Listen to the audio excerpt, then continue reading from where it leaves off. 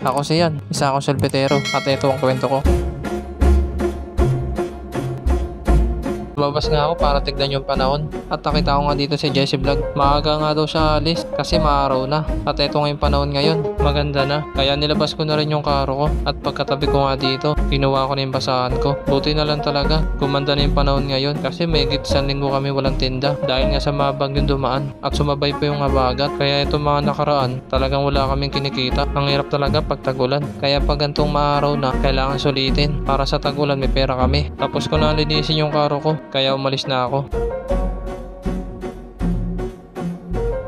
Nandito na nga ako sa Nabotas at ang ganda na nga ng sikat ng araw. Tumabi muna nga ako dito kasi may bumili. Kaya binuksan ko na yung karo ko at tinakalan ko na ngayon bumili. Isang sampu pala yung binili niya. Pagkatapos nga nun binigay ko na sa kanya. Kaso hindi niya tinanggap kasi sabi niya lagyan ko daw ng chocolate. Kaya nilublob ko na yung ice cream niya dito sa chocolate. Pagkatapos nga nun binigay ko na. Pagkabigay ko nga umalis na ako. Pumunta nga ako sa kabilang site kasi pasalbong pala ito dinadaanan ko. Mahirap na. Baka madiskrasya pa ako. At habang naglalakad nga ako, may naririnig akong kalimbang. Aure!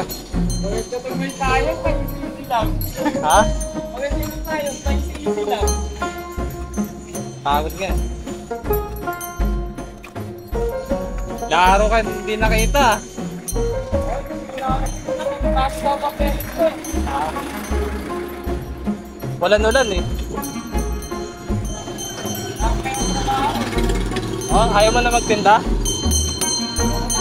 At eto nga, nakita ko yung kapwa ko solbitero. Mag-a-apply nga daw siya ng trabaho kasi hindi na siya magtitinda. Kasi sa totoo lang, mahirap talaga maging solbitero. Pauwi na nga ako. Puti na lang talaga. Kumanda na yung panahon ngayon. Kasi nakakapagtinda na kami ng maayos at nakakabenta na kami ng tama. Kaya sa pagkakataon na to, susulitin ko. Kung nagustuhan mo pala yung kwento ko, pakilike naman sa cashier. Hanggang dito na lang. Salamat.